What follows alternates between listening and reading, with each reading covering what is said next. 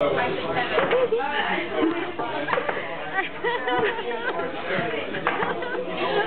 was evil.